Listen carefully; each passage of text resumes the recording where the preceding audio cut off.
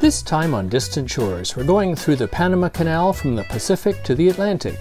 We're Paul and Cheryl Shard, and we've been exploring the world by sailboat and filming it for television for more than 30 years.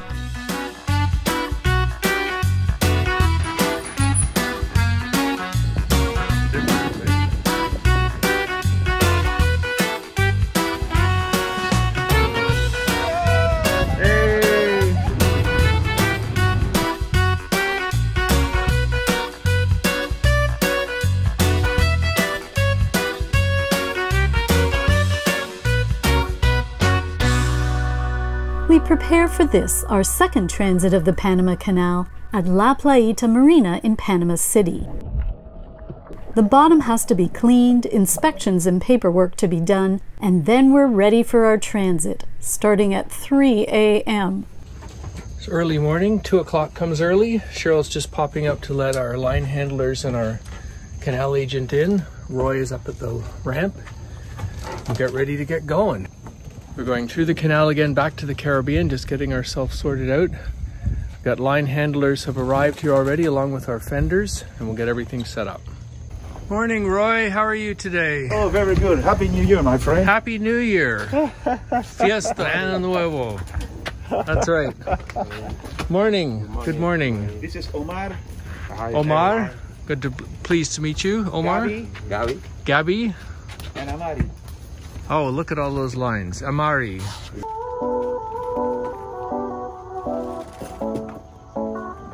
We about ready to go here. Nearly ready, just setting the lines up so we start to move out. We're having a bit of bow thruster trouble. Está bien. Okay. Okay, all good. Perfect. Yes, see? It's free. You're free. Wow. Bow clear.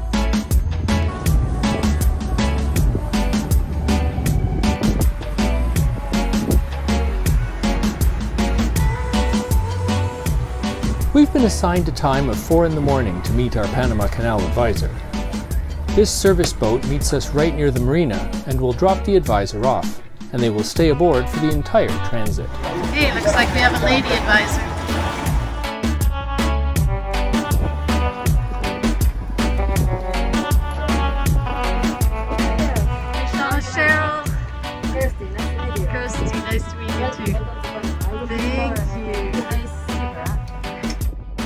It's three miles to the Bridge of the Americas, then another four miles on to the first lock. We've got over an hour.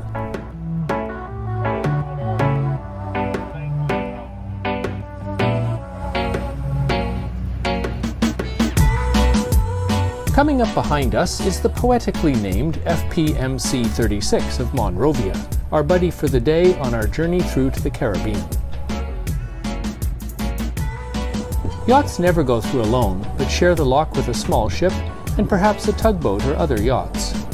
Our official Panama Canal advisor tells us we will be in with a tugboat and this 700 foot long ship.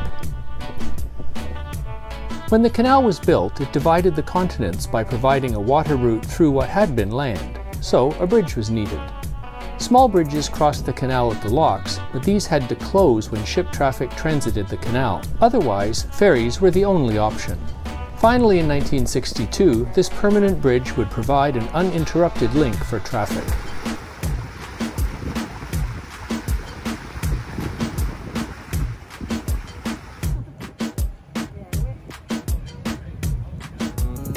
Balboa is the Pacific side port of the Panama Canal. It's one of the busiest ports in Latin America.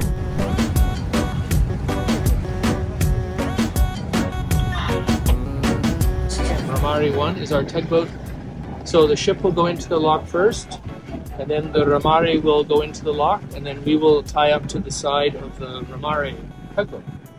And then we have to stay with them all through the whole day. So through the first three locks up, and then across the lake, we have to not get too far behind.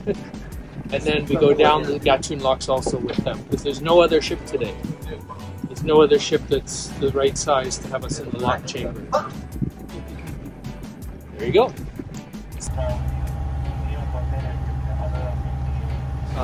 Because we're only going on the one side. All right. As we can, and we can view on the other side just in case.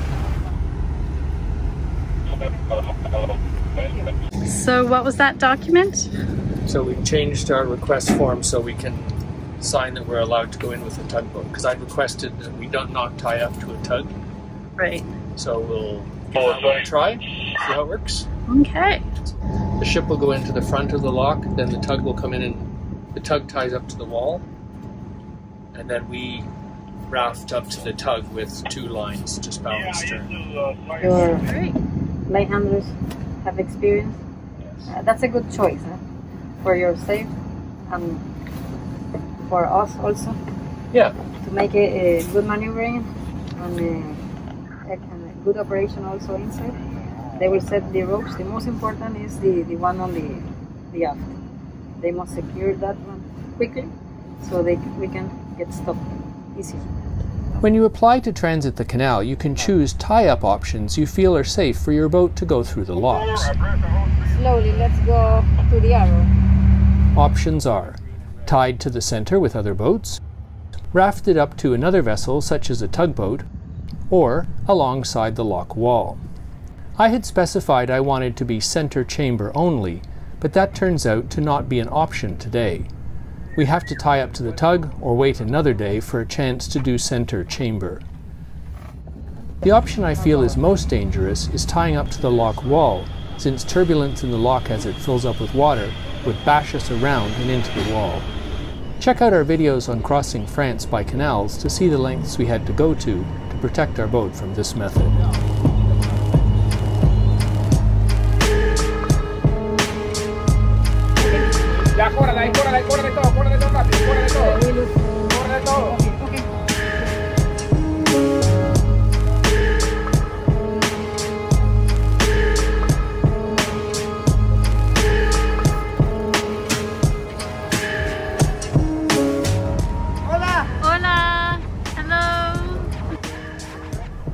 Main problem I foresee with tying to the tugboat is that we have to untie and maneuver in the tight space at the top of each lock and motor on to the next chamber. So there's quite a bit of close quarters work in the chambers dealing with turbulence, crosswinds, and the tugboat nearby. Well, goodbye, Pacific Ocean. It was a very short visit, but I'm sure we'll be back. At the top of the lock, the ship puts her engine in gear very slowly to reduce turbulence for us behind her. But we still have to wait a few minutes for the swirling water to subside, or we might be thrown against the rough lock walls. The tug is using her engine in gear to try to maintain her position in the current. Now we untie and have only a few feet on either side to maneuver while we wait for the tug to move forward into the next chamber. You have to maneuver in here the whole time, making room for the tug to pull out. So the guys are protecting both sides of the boat in case we're thrown toward the wall. The tug has to go first since she needs to tie up again. Then we come alongside.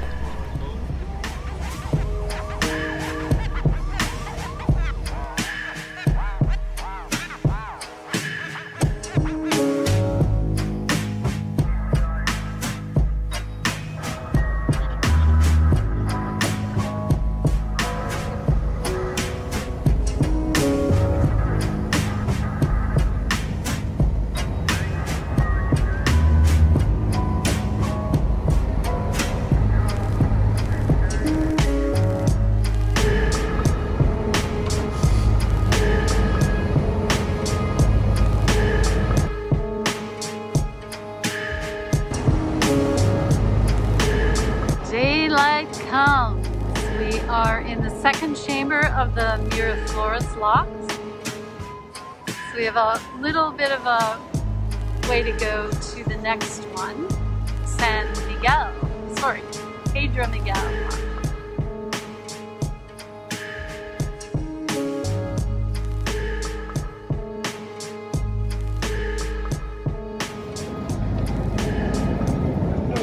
So what was going on there? The tugboat guy wanted both of his cleats, so he wanted to undo our stern cleat so he could take up slack as the boat went up. Ah, I see. But we can't see what he's put it onto on the other side, so Ah. we're not really trusting that he has another cleat there. Right. Whereas we were on a bollard before, and now we're on something we can't see behind his, his Right. railing. Right. Now we get to motor through the tiny little lake, Pedro Miguel. I think it's called Pedro Miguel Lake or Miraflores Lake. And then we get to go into the third lock of the morning. And then after that, we have a whole four, four and a half hours of motoring through Gatun Lake. And we can have breakfast then. Watch the sun come up.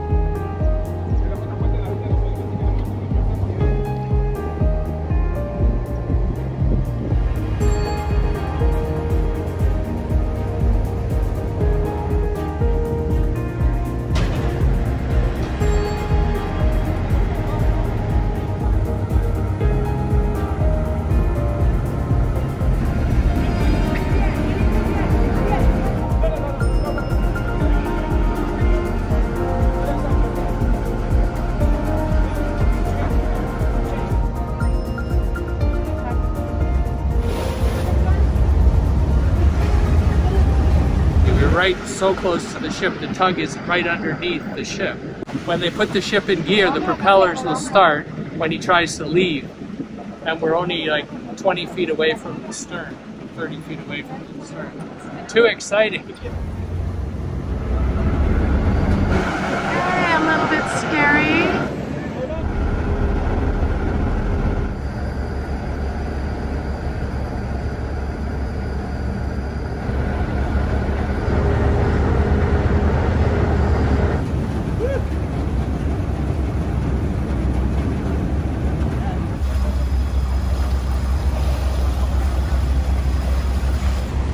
Hang on.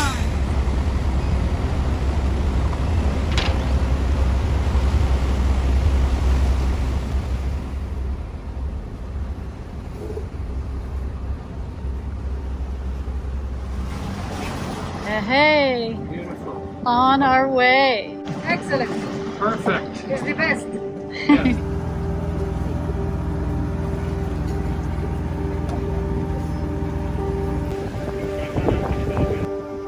It's 31 miles onto the next lock, and we've got to keep up with our lock buddies to complete the transit in one day. So we will need to maintain a minimum speed of 7 knots. You're not allowed to sail. The first three locks this morning have raised us 85 feet up from the Pacific Ocean to the level of Lake Gatun. Now we have to cross this lake before descending the final three locks to the Caribbean.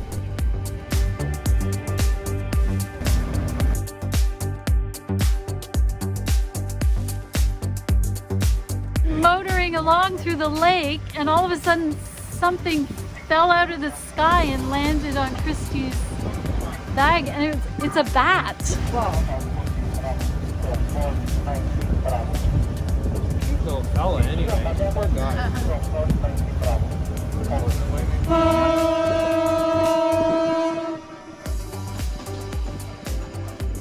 So, what's happening, Paul? Last second change, we've added another fishing boat that's side tying to the other boat, so our space is kind of gone. So we'll go side to the wall on the port side. Have enough personnel. There's not enough enough personnel. For center Well, they chamber, you will need four. four people. Yes, on both Ah. sides. One, two. So that's why. If we don't try this today, you will stay here one night or two. It depends. Kirsty tells us a fishing boat is being added into our lock group at the last minute, and they will be taking our place rafted up to the tugboat. This means we have to tie directly to the wall. The ship is coming in behind us today because we're going downhill. I didn't want to raft to the wall on the way up because of the turbulence, but now we're going down, there isn't any turbulence, and it should be okay. But we will still need to have all our fenders out. Have you tried to get the, the wall? Yeah, we should go. Yes, better, please. This one, Paul. Okay, this is a bit on the thrilling side. They've added an extra fishing boat in here. There's a breeze, our thruster's out, and we have to maneuver in the chamber while they tie up, and then we're going to be tied on the side wall instead of being suspended in the middle. I think all because of the COVID, so they don't have enough people to work to walk the four lines. Hey, Mike, talk to me, Mike. Ready with fenders on the bow? Yes, we have there. We have. Okay. Great. Beautiful, everybody. Yay, team! So the guys on the fishing boat are having a little more trouble rafting up than we did.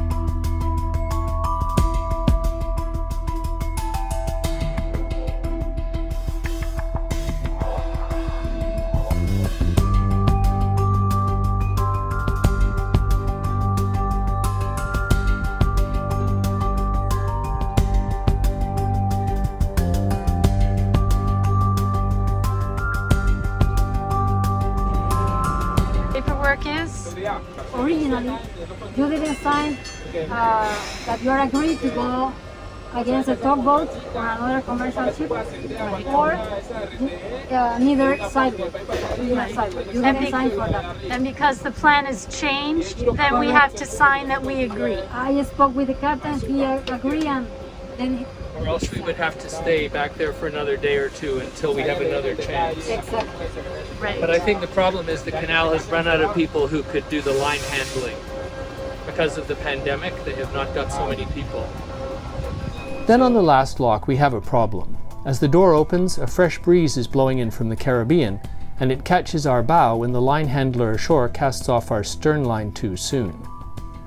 Before I know it, our bow has blown down, and without our thruster, I can't get it back in this confined space. A single engine boat will always pull to one side in reverse, depending on whether they have a right or left handed propeller, and you can use this to turn in tight quarters. Since the wind is also pushing the bow, I can spin the boat using the prop walk which pulls us to port, right under the bow of the ship, and just back out of the lock into the Caribbean Sea. You just run this in reverse, everything's going to look perfect. We're bowing to them. We're not going all the way to Shelter Bay. Oh, why It was. Great adventure, what a perfect day. You guys go all great. Yeah, thank you.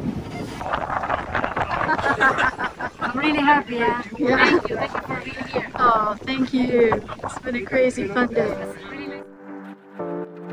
Once out in Limon Bay, the pilot boat comes to pick up Kirsty. These transfers always look a bit precarious.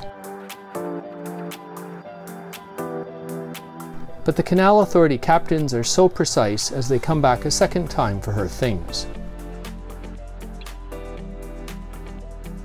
We head on to Shelter Bay. We're soon docked at the marina there. We've made our second transit of the Panama Canal without a scratch. If you're dreaming of sailing the world, you may find yourself in Panama too one day. So we hope you found this video informative. Check out our original three part series on how to transit the Panama Canal for even more details. If you've enjoyed this video and want to see more, click on subscribe and hit that notification bell too so you don't miss new episodes. Thanks for your support. We value your comments and shares. And special thanks to members of the Distant Shores Cruising Club on Patreon who make these videos possible. Cruising Club members enjoy early viewing, give input on video topics, get direct answers to their cruising questions, and participate in member-only live chats, Q&As, and other events. We hope you'll join us too. See you next time.